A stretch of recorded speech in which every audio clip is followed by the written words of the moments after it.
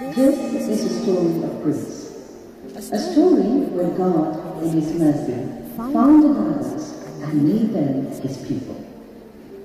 The history of Christianity in the Naga Hills traces back to the Shan Mission, with the American Baptist Foreign Society sending their missionaries to China and Burma.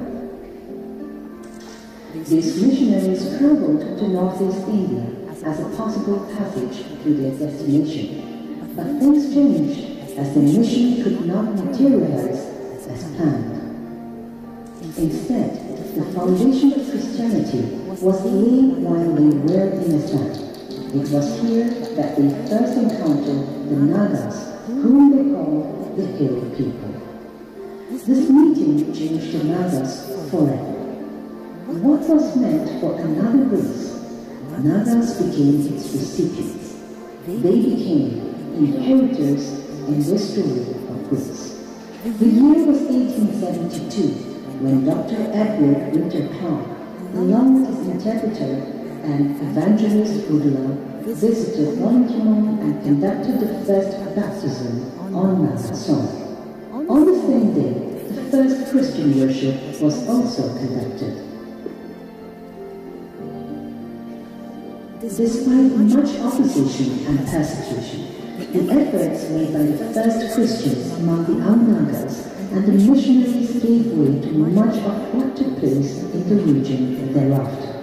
It opened doors to missionaries who soon treaded their ways to different tribal groups and villages.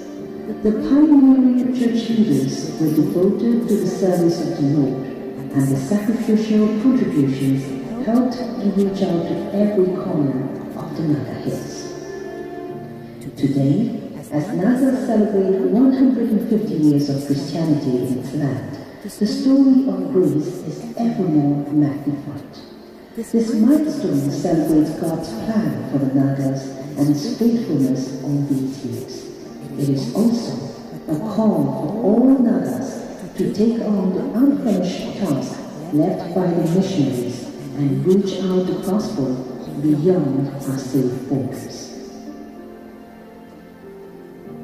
The seed of the gospel that was sown a century and a half ago has grown all over Naga, and today we have come together as a big family, the NBCC family, to celebrate His story and His faithfulness.